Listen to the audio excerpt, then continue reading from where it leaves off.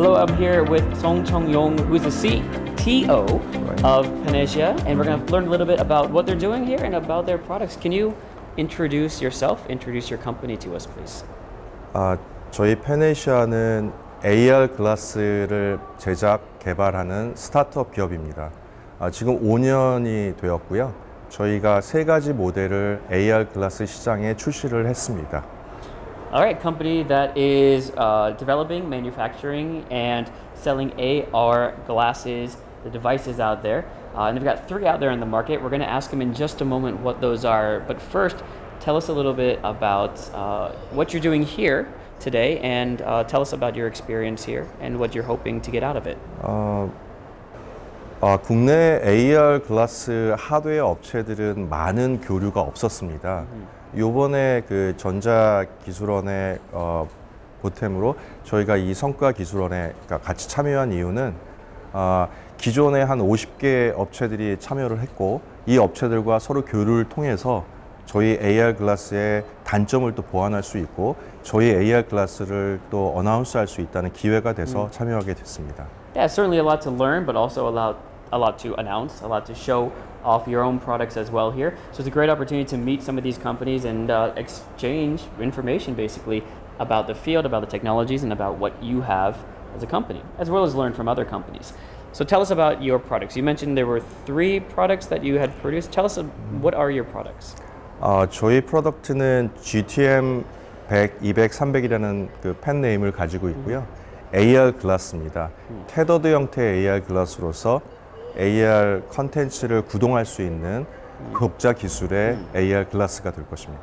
So basically, three types of AR glasses: uh, G, TM, GT, GTM. GTM 100, 200, Yeah, right. 300.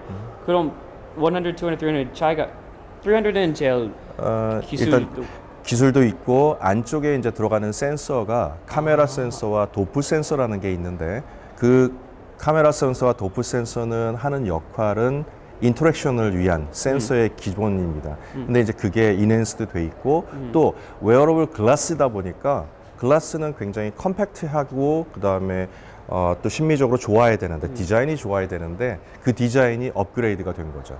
Uh, so basically, 300 is the upgrade version. Uh, better looks better to wear because you know we've got to uh, kind of get it to the normal glass standard, get all that technology in there. Still look, make it look uh, like a very easily wearable device, but also has a lot of sensors in there as well, and different technologies that makes for more interactions when it comes to it. But the three levels there, the 100, the 200, and the 300, Right. are what they are selling. So if it's for anyone, then is it a B2B? Is this a B2C?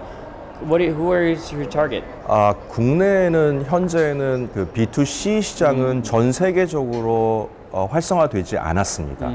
그 활성화는 아마도 메이저 기업인 뭐 애플이나 마이크로소프트가 주- 뭐 진행을 할 것이고 국내에는 아직은 B2C와 아니 B2B와 B2G 시장으로 진행이 되고 2024년도에는 B2C 시장의 어나운스가 될 거라고 생각됩니다. Oh, so B2B, uh, B2G, and B2C right now is what they're uh, mostly selling or mo- mostly working on. But in 2024, so next year, Yeah. they're going to be making uh, some announcements for their B2P, B2B market expansion that they're going to be working on. Right. Uh, so, what can you tell me about the future plans? Is it a secret? Is it what? What can you sh- share with us?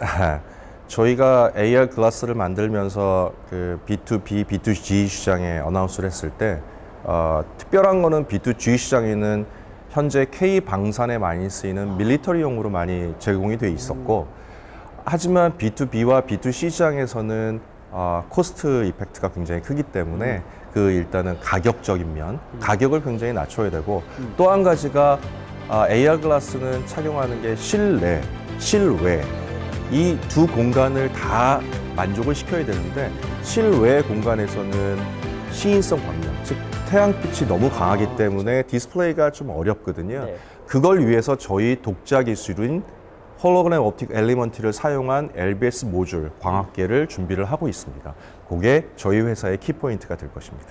Oh, so very interesting. couple of points that he mentioned right there. One, uh, of course, that their pr- products can be used uh, for government, military defense, uh, national defense as well. But the two things that we'll be expecting from them is a reduction of price to make it more cost efficient. Right. Uh, but also, what I never thought of is the ability to use AR glasses indoor and outdoor. You've got different light coming in. You've got sunlight that's going to be strong, so they're going to be working to kind of bridge that gap so they can use those AR glasses uh, both indoors and outdoors. Right.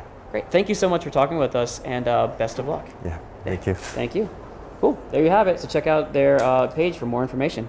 Thank you.